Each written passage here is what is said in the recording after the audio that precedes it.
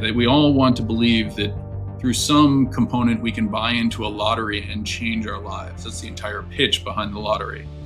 My concerns around crypto or Bitcoin as it's being presented today is that the emphasis is on that, on the idea of wealth creation as compared to utility. But what I'm not excited about is the rank speculation and, you know, what I would argue is fraudulent selling to retail of here's the keys to how you get rich simply by buying something. And I got to tell you, very few tears are being shed right now for my lack of participation in the Bitcoin network or the Ethereum network. We're social creatures. When you think about the behavior in the Bitcoin marketing story, it was all designed to appeal to the fear that we have of being left behind. When you hear somebody say, have fun staying poor, right? That's not the future of finance. That's somebody trying to trigger your fear of being left behind. This is the future of finance. Well, how much is the future of finance worth? that seems like a lot. I'm, I'm going to go with that's a big number, right? Because Bitcoin is programmatically limited in terms of the number of Bitcoins that'll ever be produced, that means at some point in the future, the system has to collapse.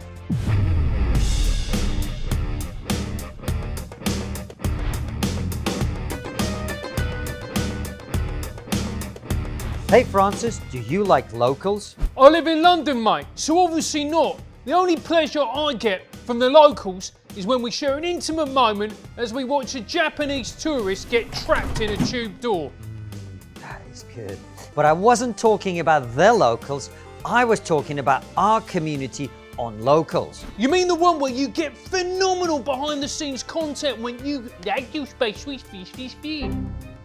where you get to ask incredible guests like Jordan Peterson, Bret Weinstein, Bill Burr, Sam Harris, Adam Carolla, Heather Heying, and others your questions? Not just that, you can get supporter only benefits like triggernometry mugs, monthly calls with our other top supporters, and even a regular meal with me and Francis.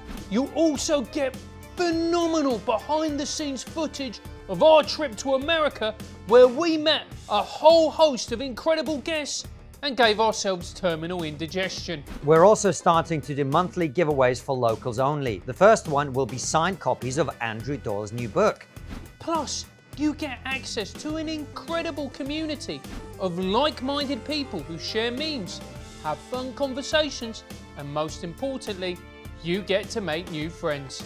You can support us with as little as $7 or about £5 a month, or give us more for the higher tier benefits. Go to triggernometry.locals.com. Go to triggernometry.locals.com and support the show.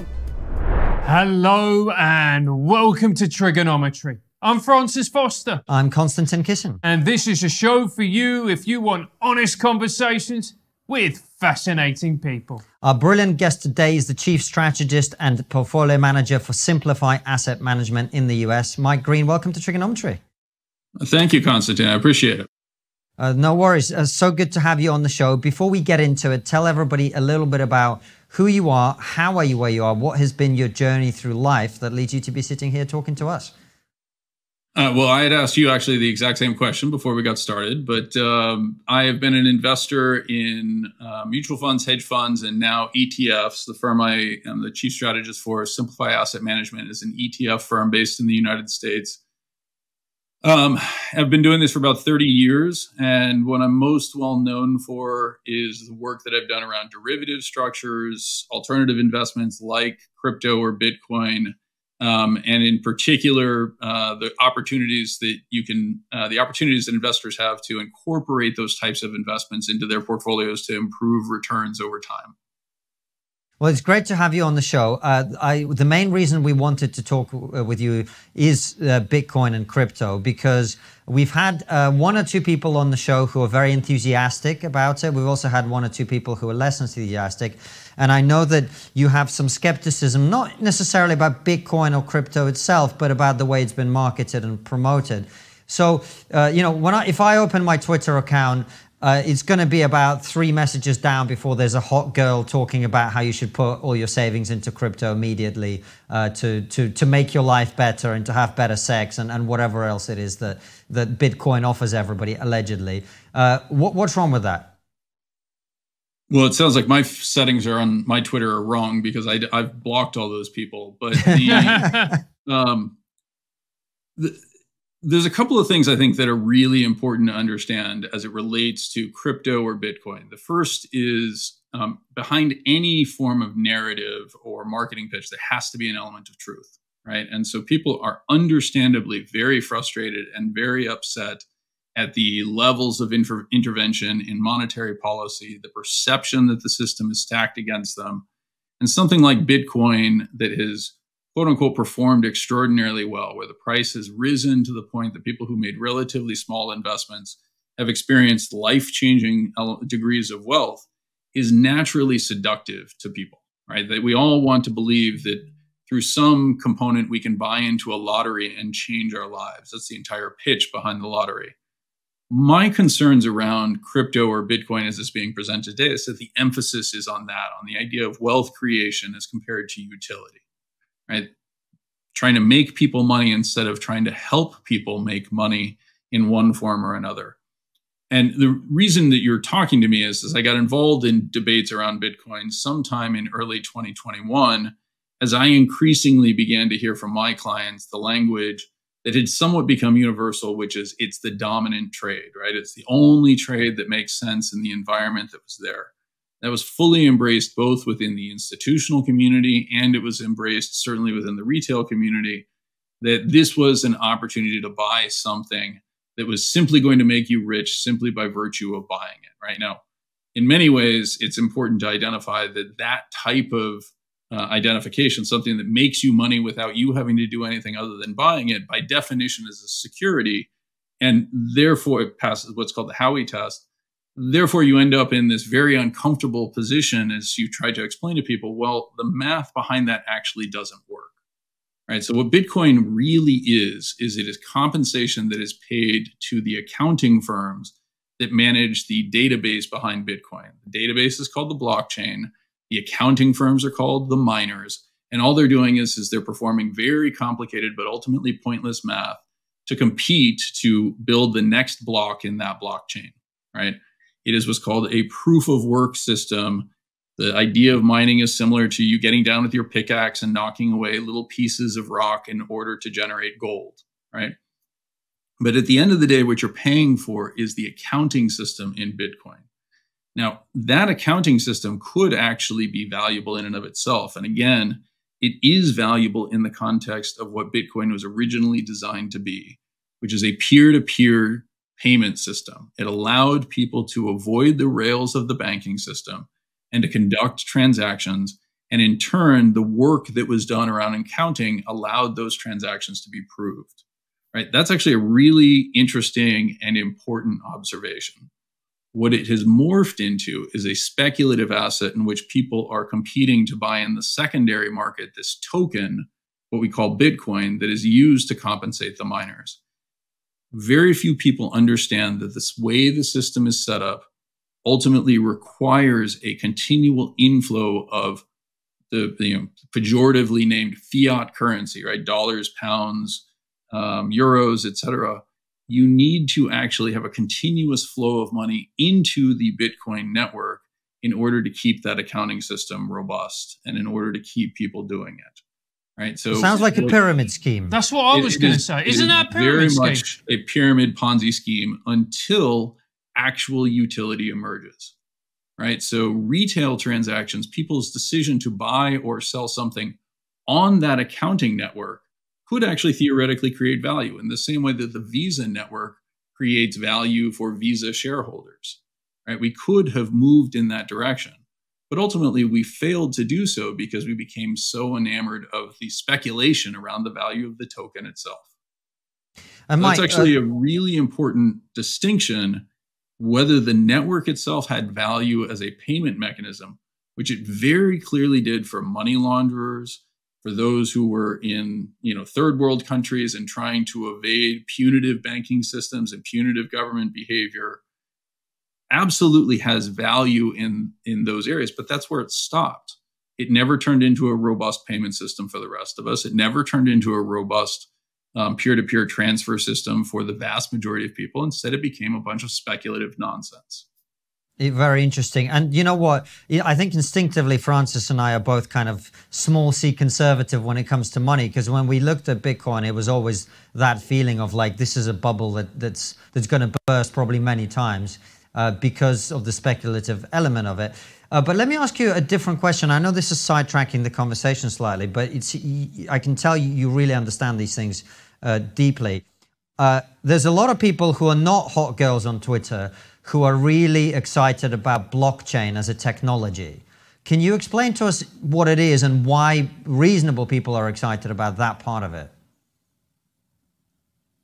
Um, so there are elements of blockchain that are actually very valuable, right? So, or elements behind the thought process, which is, is that instead of having to trust the single holder of record, for example, Visa saying, yes, we show that you made this transaction, right? Instead of having to rely on Visa to accurately capture that information and accurately report it to me, in other words, be a trusted intermediary, blockchain takes the idea of that database and spreads it out over anyone who wants to participate, right? What's called running a node. Effectively, everybody gets to audit all of the transactions that are occurring when they happen on chain. In other words, going through that accounting system there's some interesting components of that because the removal of trust from a system establishes a component of a transactions, a series of transactions of record that are very hard for people to argue against and very hard for people to change. Right now, that can actually have value, and there are many situations in which that becomes quite interesting. Unfortunately, the blockchain technology as it exists today is largely way too slow and way too limited in order to accommodate all the transactions that people are claiming it's useful for. Right. So that process, that process of um, distributing that database inherently makes it very slow. Right. It's like trying to do work where you're um, constantly seeking consensus, right? We've all been parts of organizations where meetings are the primary form of activity, and everybody tries to come to consensus, and we recognize that nothing really interesting gets done. That's very much where blockchain is today. It's just inherently quite slow. Some second and third generation blockchain technologies are beginning to emerge that allow this concept of a distributed database with limited areas of trust that actually become quite robust and quite interesting and again, there has to be an element of truth in order to get people to buy into something, to get people to participate in a scheme, right? If I were to turn around and tell people something completely absurd, like the sky is purple and therefore the world is going to end tomorrow, people could very simply look at the sky and say, well, it's not purple, therefore this guy's an idiot. They may choose to say that independently. the uh, that dynamic of having an element of truth is really critical. And it, there are a lot of truths behind this idea of digitization of documents, this idea of digitally native securities. I often show people, I don't happen to have it on my desk right now, but I, you know, my, my mother purchased for my children stock certificates, physical stock certificates, right? Now, ironically, what this means is, is that I receive, as the shareholder of record for these shares, I receive one penny dividend checks, right? Checks written out in my name for one penny, which drive my wife completely insane, and I'm forced to cash at a cost to the system of probably several dollars. It costs about 85 cents to write a check and process a check, and that check is being sent to me for one penny, right? Now, that's completely absurd, but it's reflective of the analog nature of the securities industry. There continues to be an over reliance on paper records. That's true for your mortgage. That's true for stock certificates. That's true for bond certificates, et cetera. All of this stuff doesn't truly exist in digital form. That places limitations on a lot of things that we should be able to do that we currently can't do. Right? I'll give another simple example. Um, most of your viewers would be familiar with the movie The Big Short and the idea of securitization of mortgages. Right? Part of the reason why securitization is this fancy special word is that to build a residential mortgage-backed security, that securitization, requires on average somewhere around 3 million paper documents to be held and physically maintained by the, the issuer of that piece of paper. Right? Wow. That's kind of crazy when you think about it in the 21st century, but it is a legal requirement. If we were to move everything to truly digitally native securities, not only would I be able to do that individually because I no longer have to hold 3 million paper documents in a storage facility somewhere, but I can also start to attach all sorts of interesting features to that in which various performance components, um, various distribution dynamics, the waterfall that was described so well in that movie, The Big Short, all of those can be embedded in things we call smart contracts. Your viewers, again, would be familiar with those terms. So, like, I'm incredibly excited about that world. But what I'm not excited about is the rank speculation and, you know, what I would argue is fraudulent selling to retail of here's the keys to how you get rich simply by buying something. Right? Everything I just described involves me creating something, you know, changing the system significantly so that more people have access to the ability to create new stuff and do new things. That's a very exciting world. One of just rank speculation, you know, to me just feeds the frauds that we've seen. And we're now seeing those, of course, come home to roost. Francis, before you jump in, mm. can I disagree with you, Mike? I reckon if you said the sky is purple and the world's about to collapse, in the current age, there's a lot of people who would go along with that. But anyway, Francis, carry on. I, I, I, by the way, I actually agree with you. I would probably capture a reasonable cult-sized following over the internet that would allow me to sell them anything going forward. But yeah, exactly. go ahead. Yeah. But so that being the case, what is the difference as far as you're concerned, if there's any difference? Between Bitcoin and the rest of crypto like Ethereum, etc.? Um, so I think that there that there is actually functionally very little difference. They are at the end of the day, they're just algorithms that set a certain protocol for behavior, right? So Bitcoin, as I mentioned, is really just a token that is compensating people who are doing accounting for the Bitcoin system. Ethereum, now that it's moved to what's referred to as proof of stake as compared to proof of work, is moving to a slightly different dynamic where the Ethereum token is actually a requirement similar to posting US dollars as collateral. It's a requirement for posting collateral on the Ethereum network, right? So um, I, I don't think that there's actually that much difference. They're all protocols that are basically just code. The question is, what is the utility of that code? What is the utility of that protocol? Ethereum has its flaws. It has significant flaws, and ultimately, I'm somewhat skeptical about whether it will end up winning or not. But it, it, it at least attempts to make things useful, right? Things like the introduction of smart contracts, the introduction of proof of stake, or the use of proof of stake that basically says, I'm willing to run the risk of losing X amount of Ethereum tokens or US dollars, et cetera, if this turns out not to work right? So I'm, I'm basically putting my money where my mouth is in that process. That's, again, quite different than the dynamics of speculation as to whether or not Bitcoin's going up in price or down in price, which makes me very sad, right?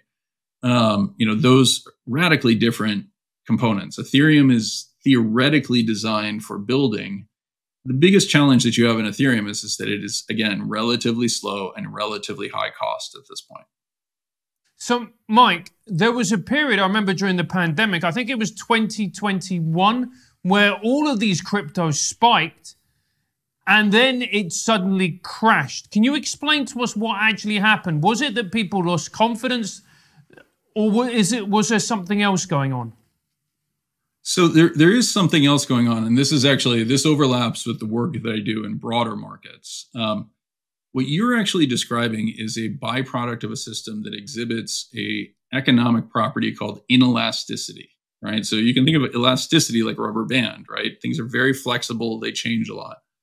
Most models of markets assume a high degree of elasticity. In other words, for significant changes in supply and demand, price doesn't change all that much.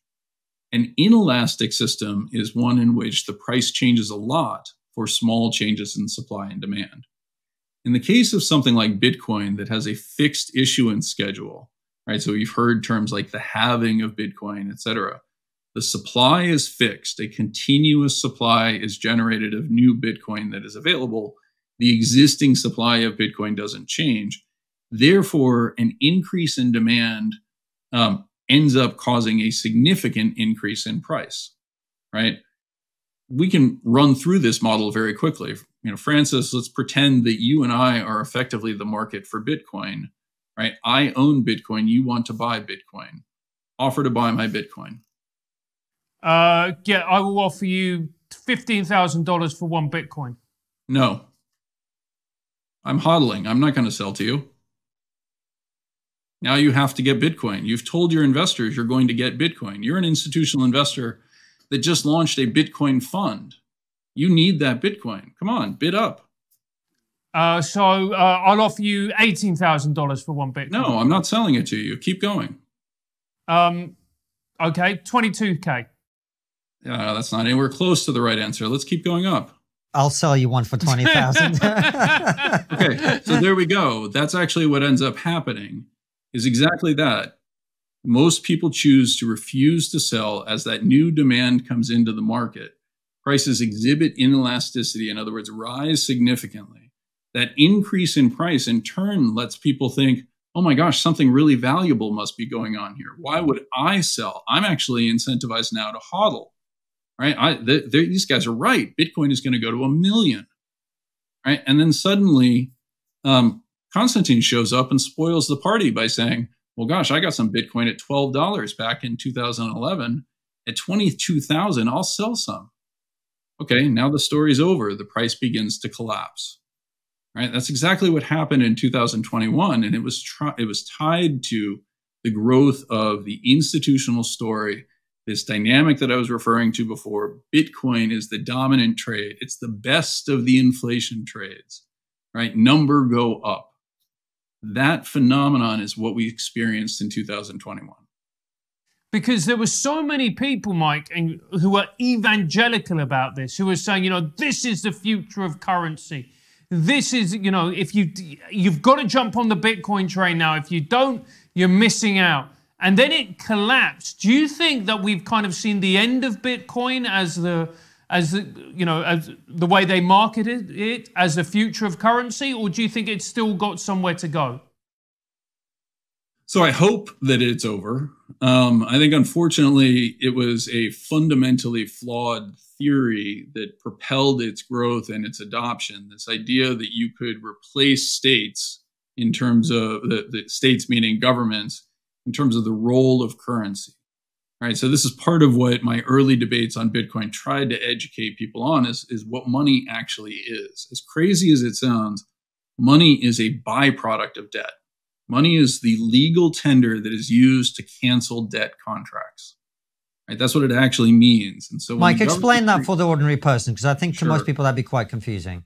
So if you look at a US dollar, and I can't speak to a British pound because I don't know the answer to this, I don't have one directly in front of me. It has the same statement. I know what it has the same about, statement. Yeah. This is the you know this is legal tender for all debts, public and private. The ultimate debt that is created is the government saying you have to pay taxes. And the only thing that we'll accept for the payment of taxes is the US dollar, the British pound, the euro, etc right? The minute you actually make that statement as a government, and as a government, you have the monopoly on force that allows you to say, if you didn't pay your taxes, I'm going to put you into this thing we call jail, right? That suddenly creates demand for the currency. People have a reason that they need it. Render unto Caesar what is Caesar's, right? That is really what is going on with currency it is declared as legal tender for debts, both public and private, within that circle of the monopoly of violence, right? Where the government controls the resources that allow you to enforce this, whether this is a court system or the physical army or anything else, right? That's what currency actually is. It is that which cancels debt. There is no native Bitcoin debt. There is no native Ethereum debt. There is no mechanism for enforcement other than saying you can't participate in the Bitcoin network or the Ethereum network.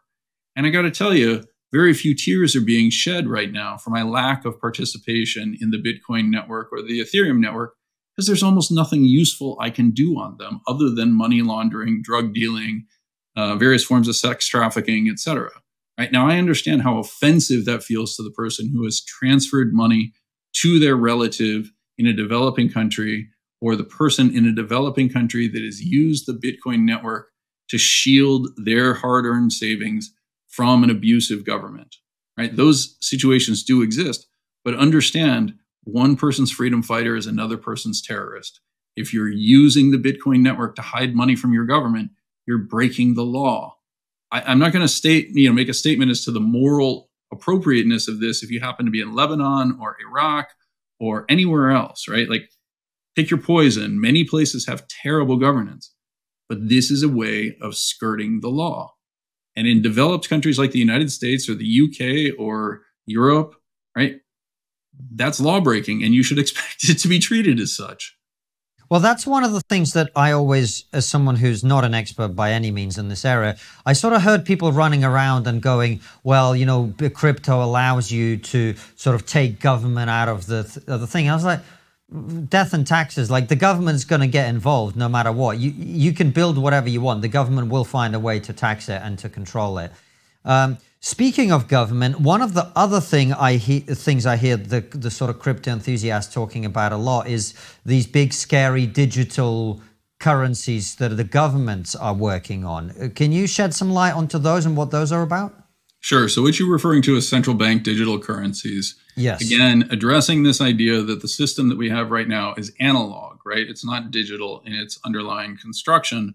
A move to central bank digital currencies is both an opportunity and a threat. And the reason why I say that is from an opportunity standpoint, it creates all sorts of functionality like what we're referring to, right? So if each token, which is what the US dollar or British pound is referred to, is natively digital and basically built into the system so that it's constructed as such, each use of that token in turn is going to natively be in that digital system and open up all the opportunities that we were talking about before, right? You as an individual could securitize your own mortgage, for example, right? Now, I'm not suggesting that's necessarily going to happen, but that type of opportunity would exist. The, the issue with digital currencies, as done by central banks, is, is that they also represent extraordinary risks of privacy intrusion. It creates the opportunity for the government to do things to the money that you think of as being in your to steal from the crypto phrase cold wallet right? That thing we have in our pocket where i've got physical paper certificates.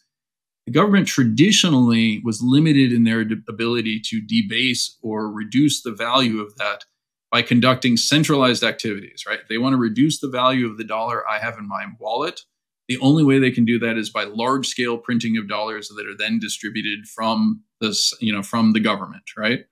That has an indirect effect.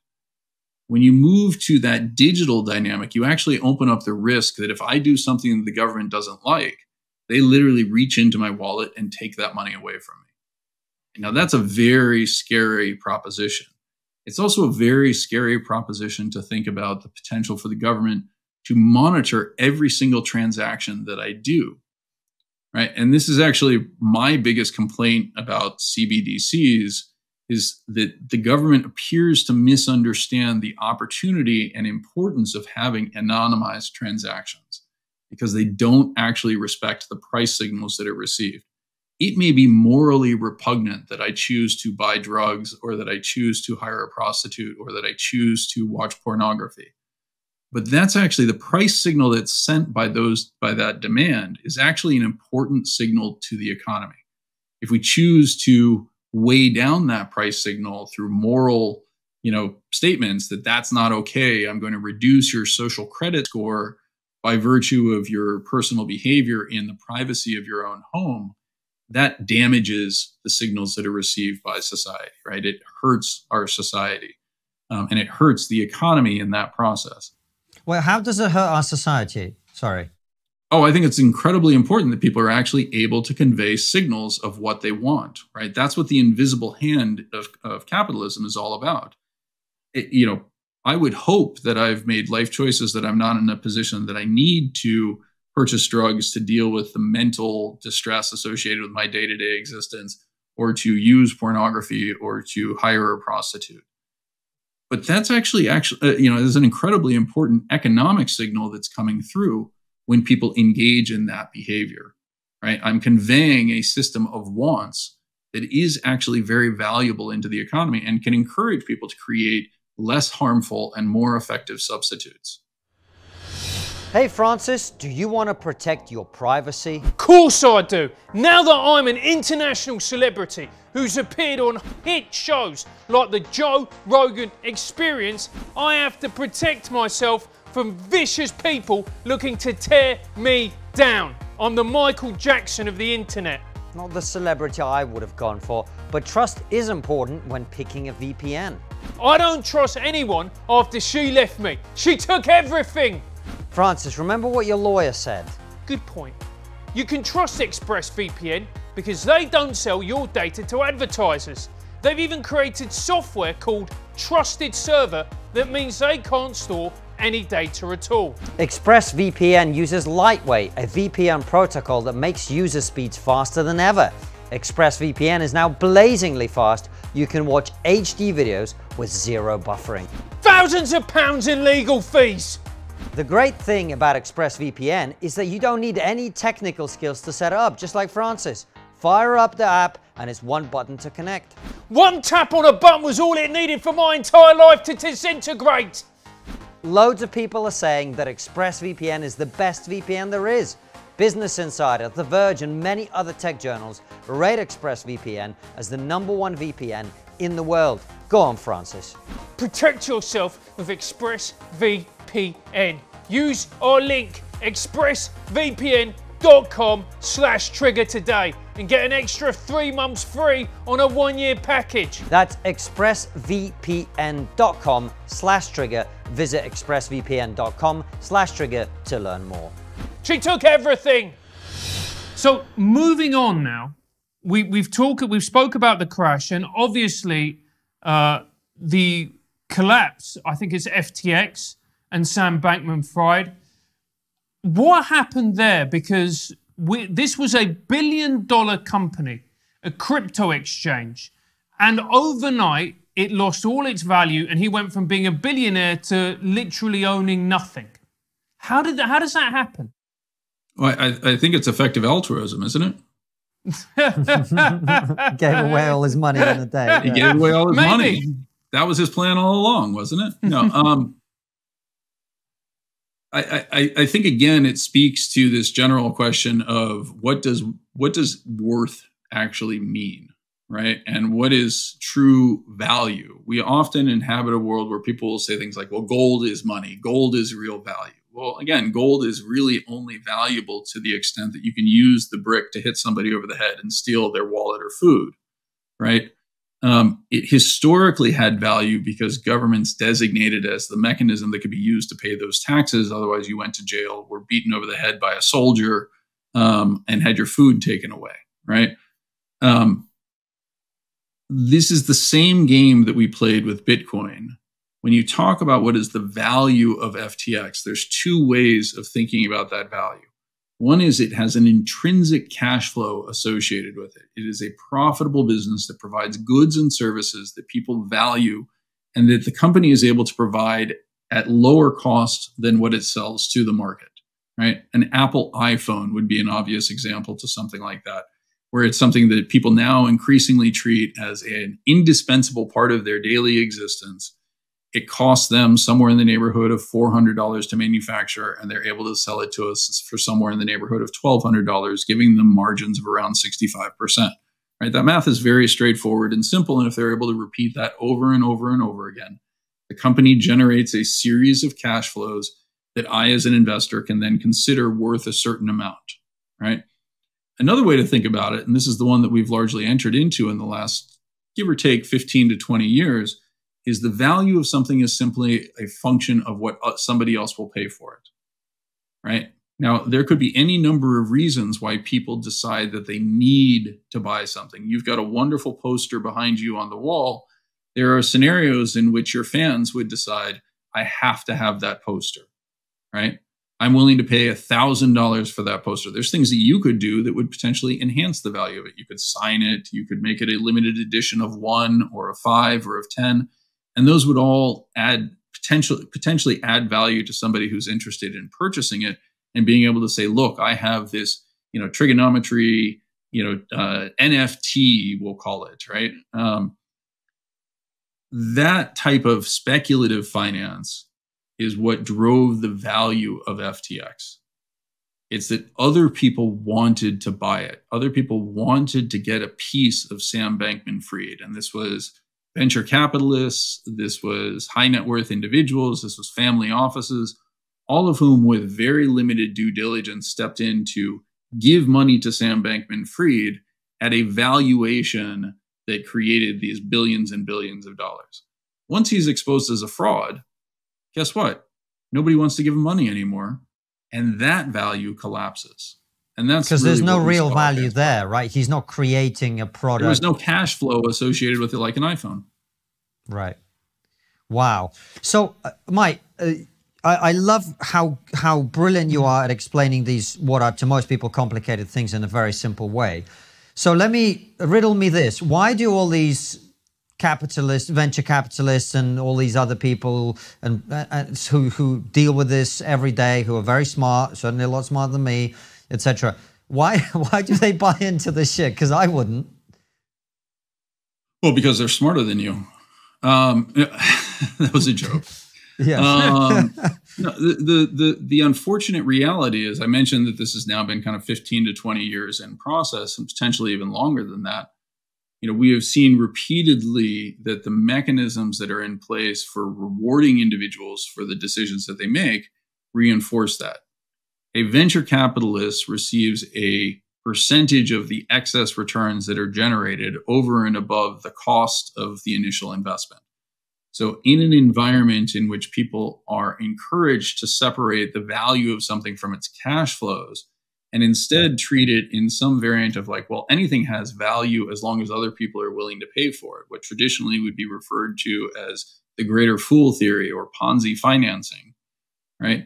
When you've been rewarded for that, the institutions grow up and flourish that reinforce that type of behavior. And that's very much where we are. Unfortunately, I would argue that most venture capitalists or many venture capitalists have not lived through a cycle in which they have to critically examine why did Google work?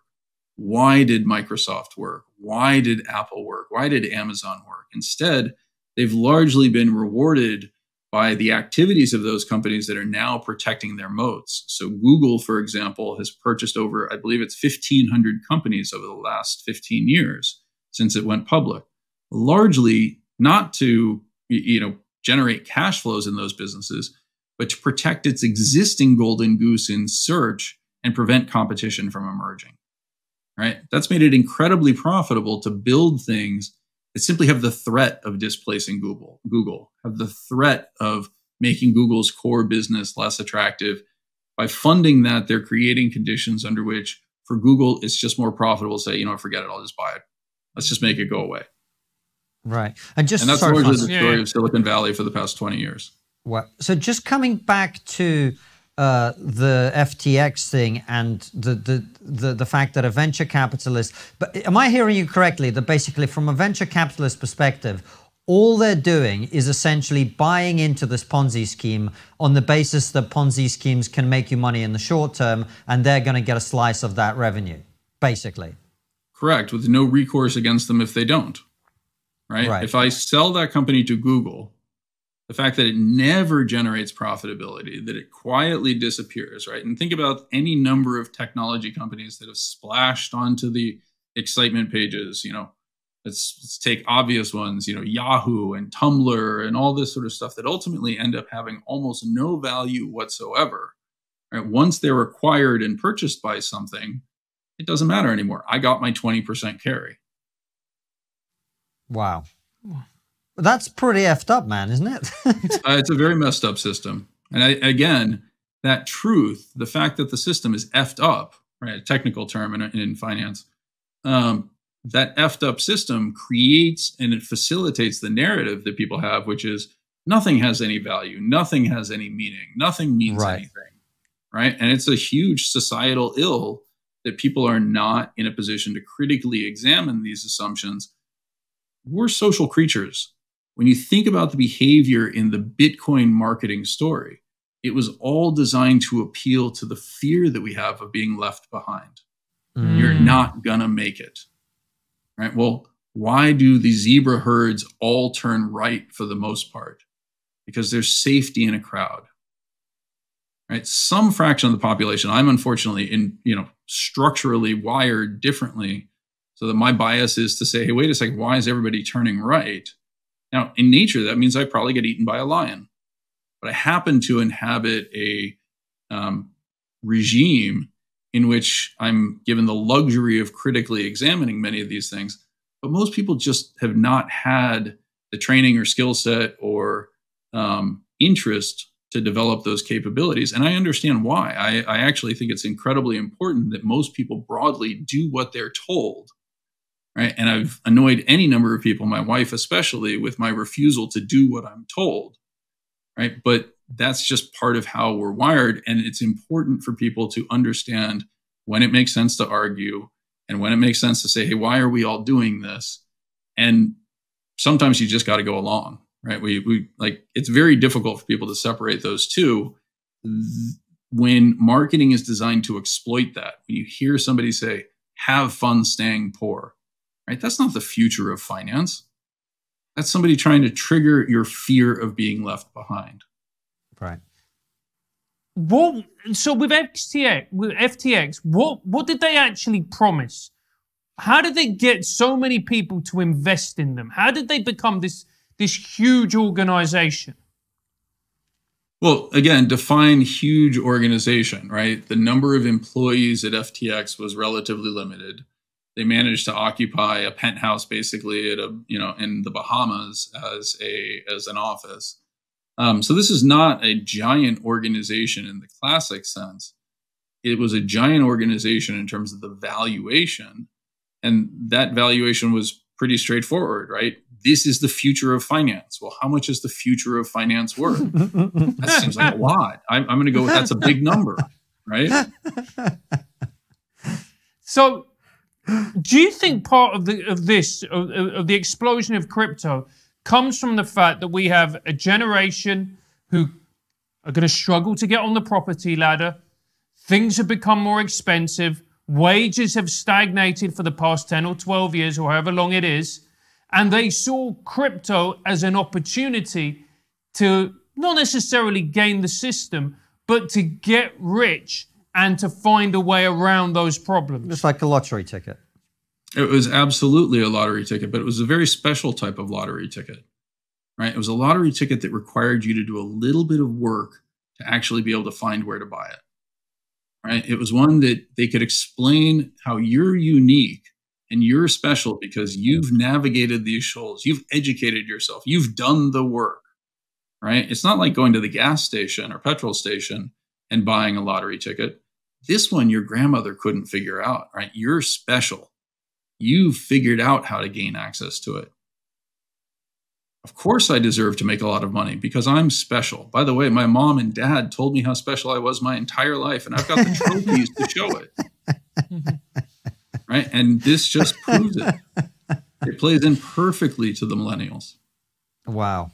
You know what, Mike? This we've talked, as I said, about crypto with a lot of people, but I don't know. Maybe you are playing my mm-hmm. tune, and we are. Francis and I started the show called Triggernometry because we also are, often refuse to go with the herd. But what everything you're saying makes absolute perfect sense to me, and you know why? I grew up in Russia in the early 90s uh, when the Soviet Union collapsed. And you got to understand, nobody in the Soviet Union had any financial training of any kind, really. And then the Soviet Union collapses, and you've got this supposed free market. And this thing comes on the screens of every television. You didn't have advertising in the Soviet Union. Suddenly, you're, you're these full color, interesting mm. uh, scenes playing out on your screen. And these guys talk about this system called MMM, Triple M. Uh, I don't know if you're familiar with it. And basically, uh, this is, yeah, this is this was one of the original scams, if I remember correctly, in Russia. Well, right. So, so, what happened was you know, these guys would come on your screen and go, "Oh, mate, I went down to, to, to the thing yesterday and I bought, you know, ten rubles worth, and now it's worth hundred. And I told my mate, and he went down, and and and every day you'd be bombarded with these messages. And my dad happened to be financially literate, so every time as a young kid I'd ask him what's going on, he just said to me, "It's a scam." And I'd be like, yeah, but my, my mate at school, he said that his dad bought it and he did well. And my dad would be, it's a scam. And this went on for like months. And eventually, of course, it turned out to be a scam. And every time people talk to me about Bitcoin or crypto and they go, well, look, you know, this is what happened. And, and then, the, and I'm always, I've always got that memory in the back of my head. Um, and everything you're saying just makes so much sense because, you know, it isn't physically possible for this to be all be true uh, in the way that people, the marketing side says it is. Yeah, unfortunately, that unfortunately that is that appears to be true, right? I, I want to be very clear that everything I've expressed is my opinion and my analysis of this system and of what we have experienced for the last several years. Um, it's possible I'm wrong, but I don't. I, I, I have yet to see. If you are wrong, how are you wrong? If you were wrong, how would you turn out to be wrong?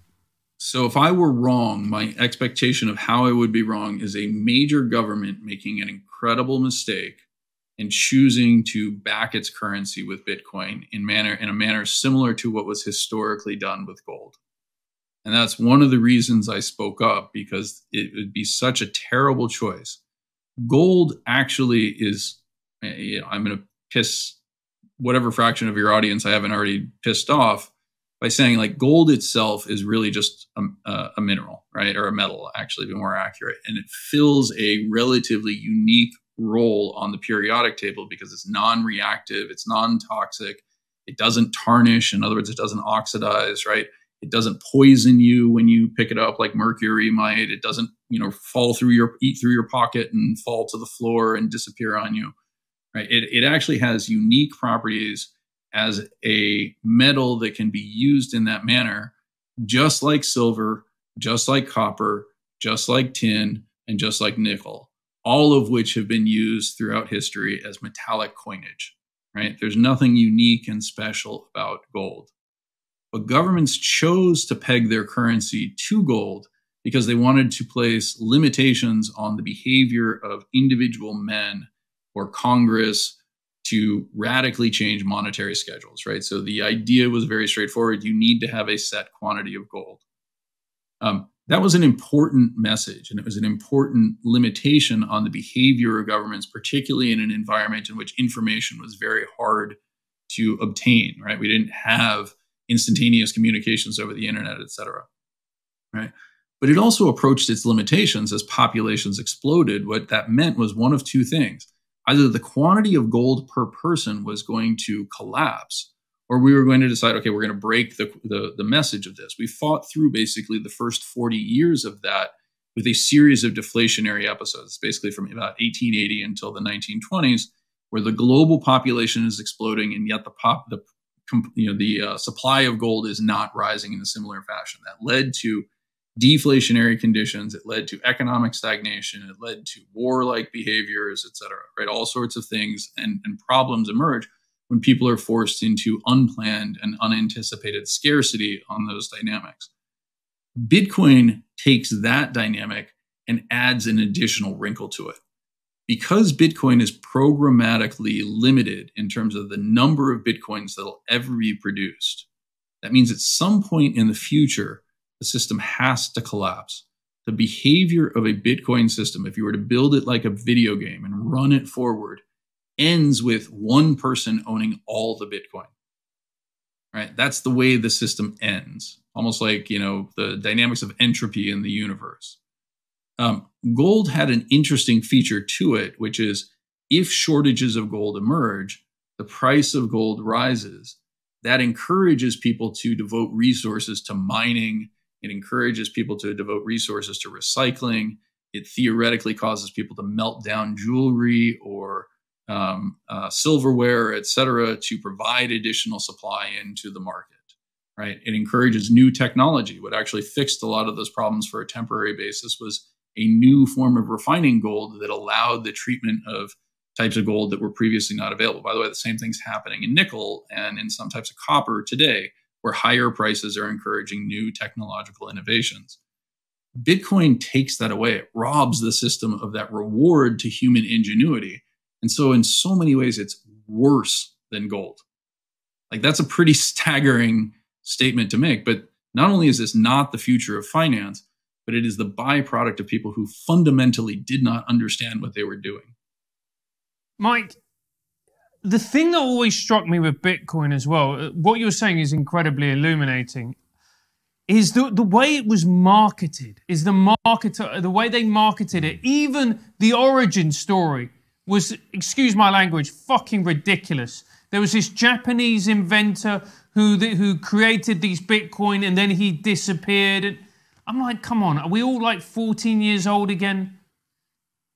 Well, it's uh, again, if I'm going to sell you something, right, I have to be thoughtful about what is the origin story that I'm going to create. So I'm going to tell you that there was a man who was actually a god who was sacrificed, you know, died for our sins, then came back. Like we have no evidence of this. We know broadly that these things are somewhat ridiculous in their story, that there's a godlike figure in the sky. But remember, we are a society that requires that narrative We require that explanation to get us to turn right when the lion threatens us. Right? As a herd, we have to follow those behaviors. This, you know, there's a book called The God Gene that effectively posits that some people are wired to follow those instructions. Well, you have to give them that story. You have to give them the why. Why are you doing this? Because Satoshi Nakamoto said so and it was good. Mike, absolutely brilliant. Look, I'm enjoying this conversation so much, and as Francis said, illuminating is exactly the right word. Do you mind if I ask you some um, sort of political and cultural questions, or I, just because it strikes me that you'd have an interesting take, but I understand someone in your position might not want to talk about it.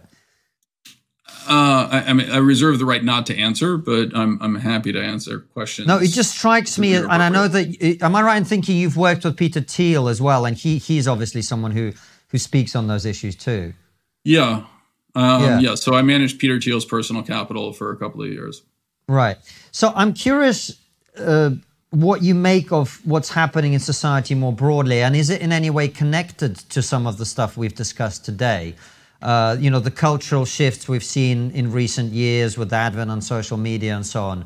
Uh, do you have any thoughts on on every everything that's happening in the cultural sphere? Um, so I, I think there, I, I think unfortunately that there are incredible overlaps, right? If I draw a Venn diagram of why this sort of thing works and what's going on broadly. That's why I asked you. I had the sense that yeah. you'd have something to say on this. Yeah, so so I, I do think that they are very deeply linked.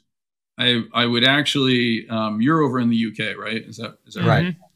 I would yes. encourage people to check out the work of Ole Peters, O L E um, space capital P E T R S, right? Um, there's there's a broad school of theory in economics that says something along the lines of um, the market is always making the right choice. And the most important thing for us to do is to reinforce the signals that come from the free market. And that in turn leads to a rise in meritocratic outcomes and an improvement of skill and capability in society. That story has unfortunately largely morphed into a variant of social Darwinism. Those who are rich are rich because they deserve to be so, instead of those who are rich might very well be rich because Google fell for a story and ended up buying out their company at a valuation that made no difference to Google whatsoever, but provided generational wealth to that individual. Once you've achieved that generational endowment, you can then proceed to change your behavior of investment to one that allows you to place a series of bets that have no individual consequence, but have option like characteristics that allow you to enhance that wealth. Um, Peter, brilliant in financial analysis and cultural analysis, I would argue largely figured out that that is the primary benefit of being involved in venture capital. That it allows you to make a series of option like bets that potentially have a thousand times payoff with very little consequence, right? You're able to construct your portfolio as a series of diversified call options that in turn, each one underperforming has very little impact on you, but one winning causes an incredible home run. But that's really only something that can be done by somebody who has already gotten lucky. And we fail to consider that dynamic of luck. Now, the work of Ole Peters takes, in my opinion, goes a step further than the work of, say, um, Piketty and Saez, which is this whole dynamic of, you know, R minus G, it's or R greater than G, et cetera, that you know wealth concentration is a function of uh, the returns on capital and the scaling dynamics associated with that.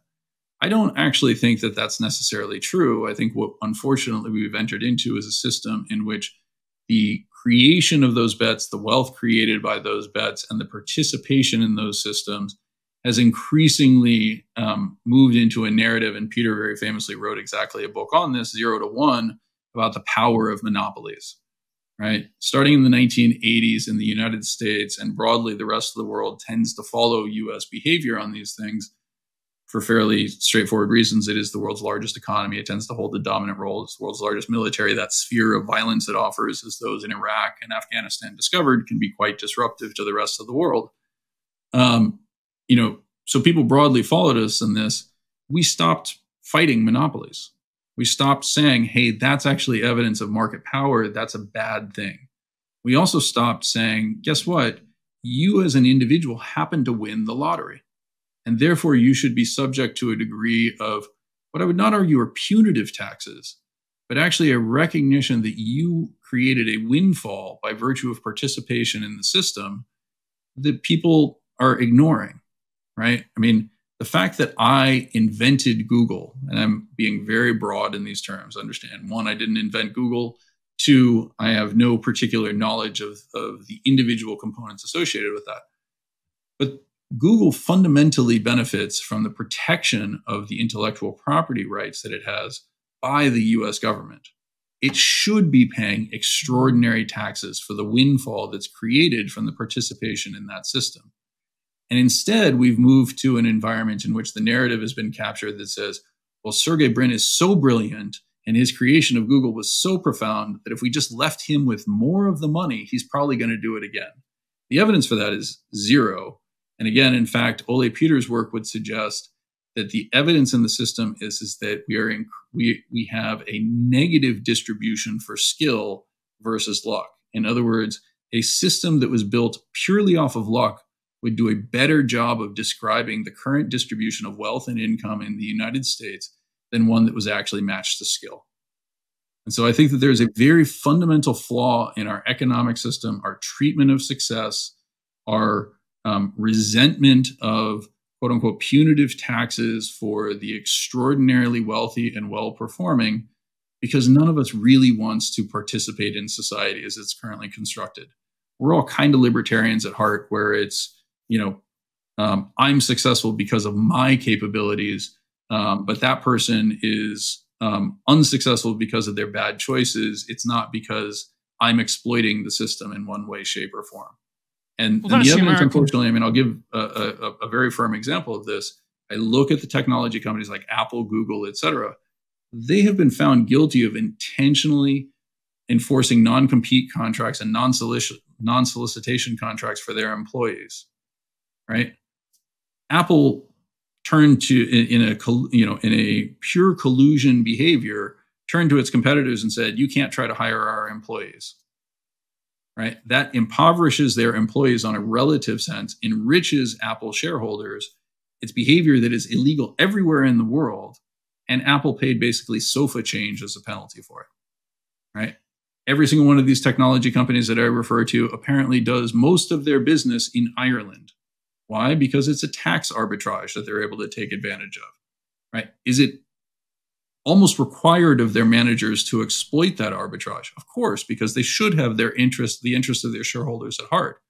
But as a government, the United States should not be encouraging that, and the government of the United States should be penalizing it candidly. Hmm. Mike, because what you're describing earlier on, I mean, that's the American dream, isn't it? Isn't that what we're all buying into? You you mean uh, I'm successful because yeah, of me, yeah, you're a failure because of, of you. you. You know, and I succeed yeah. on my own merits. That's the beauty of America. That's the dream. A man can pull himself up by his bootstraps and be whatever he wants. Yeah. Uh, so unfortunately, the evidence for that is increasingly untrue. And the systems that we've put in place have, encouraged, have increasingly encouraged extreme success as compared to the more modest success of the individual. Right. We've also moved to an environment in which we presume that signs of success are goods unto themselves. right? So a college degree is perceived as the objective as compared to adequate educational training to allow me to take advantage of the opportunities that exist in the environment today. Right? The college degree is a mechanism increasingly for signaling I'm a member of an elite class. You should consider me for this employment opportunity. Right? And we've taken away the market signals that would be associated with those degrees and the quality of those degrees if people actually had to contemplate the real costs associated with it. Going to Harvard is an objective in and of itself, not the Harvard education. And in fact, I would increasingly argue that the Harvard education is separated from the Harvard degree. I have a daughter who's at the University of Pennsylvania. Cheating is rampant because kids are more focused on the grade than the actual education. And if right. that's happening at the elite schools, imagine what's happening at the second rate schools. Well, that makes perfect sense, Mike. And I suppose, uh, in terms of your point about monopoly power, it's something I've been thinking about for a long time. I imagine a big factor in that is what we saw with Sam Bankman Fried, where you're giving lots of money to politicians to shape policy to match what you're trying to do.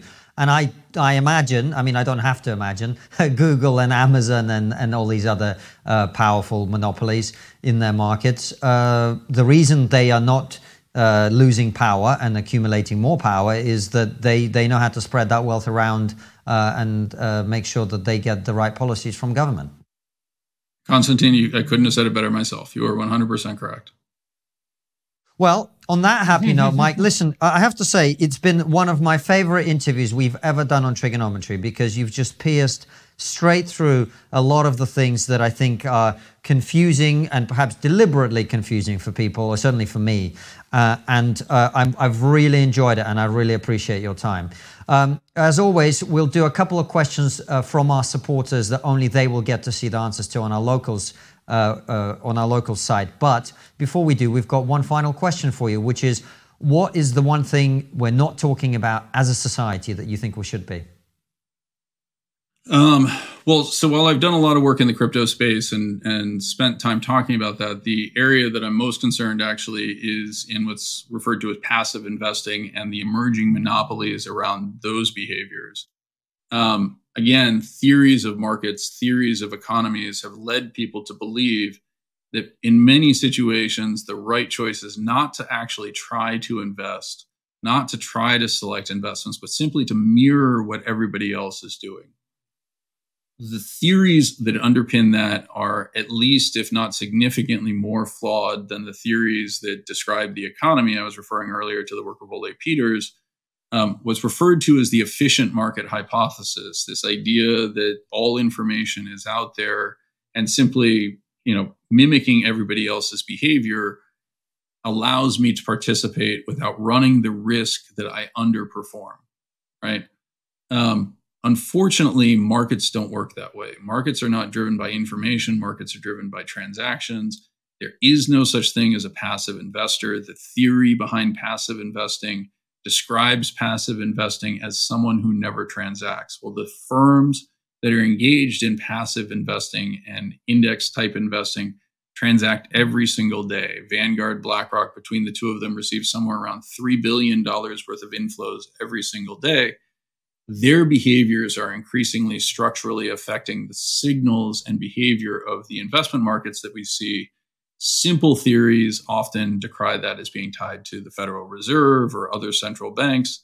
Um, increasingly, those models are at odds with what I would describe as the reality of how markets behave from a structural framework. And that actually creates extraordinary risks for us as a society because when retirement systems fail, and ultimately that's where this system is heading, it's creating a liquidity crisis that I would argue is accelerating as we speak. That crisis almost always signals the end of democracies. Constantine, you saw this happen in Russia. When the pension system fails, that's when you move to an authoritarian system. Wow.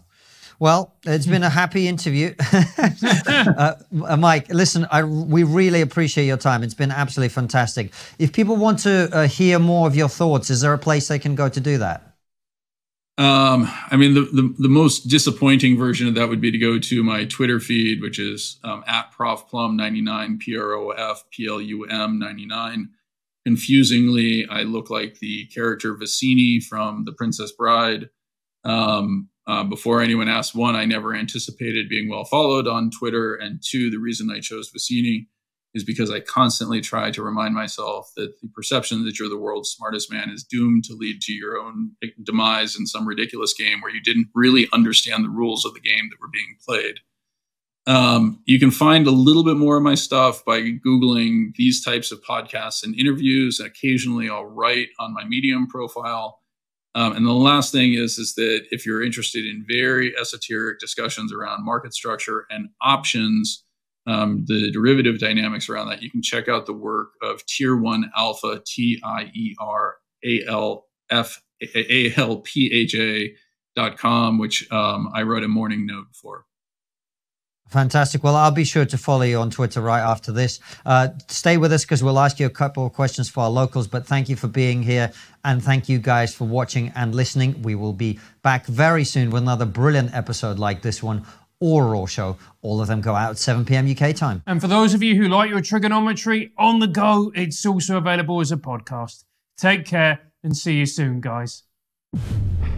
Danny Fandango asks, I believe the prevalence of successful scams in the crypto space is indicative of the individuals who are drawn to it, and therefore is indicative of the lack of real value of Bitcoin. What do you say in response?